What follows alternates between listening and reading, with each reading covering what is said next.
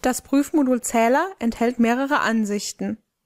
Die Prüfungsansicht besteht aus zwei Registern, in denen Sie die Einstellungen und die Prüfpunkte definieren können. Beginnend mit dem Register Einstellungen legen wir zuerst die allgemeinen Bedingungen fest.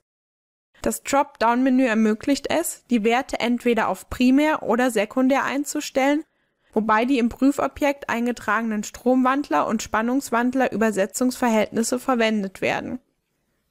Die Zeitsequenz einer Zählerprüfung beginnt mit der Aufwärmzeit, in der die Nennspannungen ausgegeben werden. Als nächstes startet die Anlaufzeit. Während dieser Zeit werden alle Prüfparameter ausgegeben, jedoch ohne dass Zählerimpulse aufgenommen werden Bedenken Sie, dass diese Zeit nicht kleiner eingestellt werden kann als die Einschwingzeit im Prüfobjekt. Auf diese Weise können Sie sicherstellen, dass sich der Zähler stabilisiert, bevor eine Messung begonnen wird. Nach der Anlaufzeit wird die Zeitmessung für den getesteten Zähler gestartet. Für unser Beispiel können wir die voreingestellten Werte beibehalten. Geben Sie die Umgebungstemperatur und die relative Feuchte ein. Diese Werte erscheinen dann im Prüfprotokoll. Wir wollen die exportierte Wirkleistung messen. Diese Option ist bereits im Feld Messgröße ausgewählt, während die übrigen Optionen ausgegraut sind. Falls ein multifunktionaler Zähler im Prüfobjekt ausgewählt wurde, müssen Sie alle Größen, die gemessen werden sollen, hier auswählen. Wie bereits im vorhergehenden Video erwähnt, werden wir das CMC als Referenz verwenden. Sie können allerdings auch einen externen Referenzzähler als Referenz einsetzen. Die Genauigkeit dieses Referenzzählers wird dann als Referenzgenauigkeit für die Fehlerberechnung verwendet. Die Referenzzählerdaten einschließlich der Referenzzählerkonstanten müssen angegeben werden. Diese Daten können aktualisiert, importiert oder für den späteren Gebrauch exportiert werden.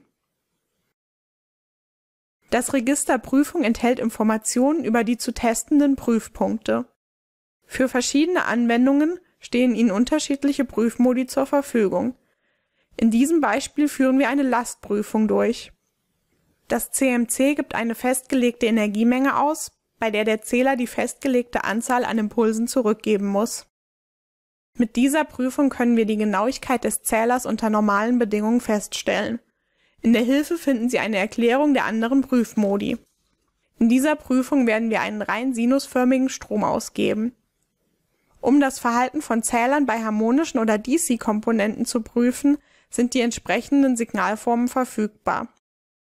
Für ein symmetrisches Dreiphasensystem können Sie die Werte für Spannung, Strom, Leistungswinkel und Frequenz eingeben. Beachten Sie, dass der Leistungswinkel auf Null gesetzt wurde, da wir die Wirkleistung gemäß unserer Definition im Prüfobjekt prüfen werden in der Detailansicht können die Parameter unabhängig voneinander für jede Phase eingegeben werden. Schein und Wirkleistung werden für jede Phase sowie für das komplette Dreiphasensystem angezeigt. Die Prüfgrößen Spannung, Strom und Leistung werden in der Vektoransicht grafisch dargestellt. Nun müssen Sie nur noch die eigentliche Prüfung definieren, indem Sie einen der Nennwerte, also Gesamtzahl der Impulse, Energie oder Prüfzeit, eingeben wir tragen zum Beispiel fünf Impulse ein. Energie und Zeit werden automatisch daraus berechnet. Die Toleranz ist standardmäßig die im Prüfobjekt eingetragene Klasse. Die Anzahl der Durchläufe legt fest, wie oft die in der Prüftabelle ausgewählte Zeile ausgeführt wird. Wenn Sie das Prüfung-Stoppen-Kontrollkästchen auswählen, wird die Prüfung vor der Ausführung dieser Zeile unterbrochen. Klicken Sie auf Trigger definieren, um die Nachricht festzulegen, die während der Unterbrechung angezeigt wird. Sie müssen außerdem die Triggerbedingung festlegen, bei der die Prüfung fortgesetzt wird. Als Triggerbedingung können Sie Tastendruck, Binäreingang oder eine Kombination aus beidem auswählen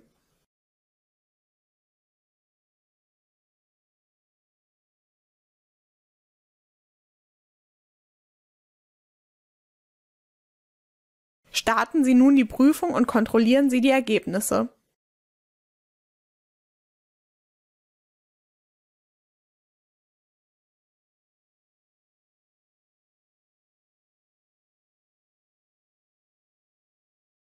Die Prüfzeile wurde als bestanden bewertet. Dies erkennen Sie an dem grünen Symbol. Die Ergebnisse der automatischen Prüfung werden im Prüfprotokoll zusammengefasst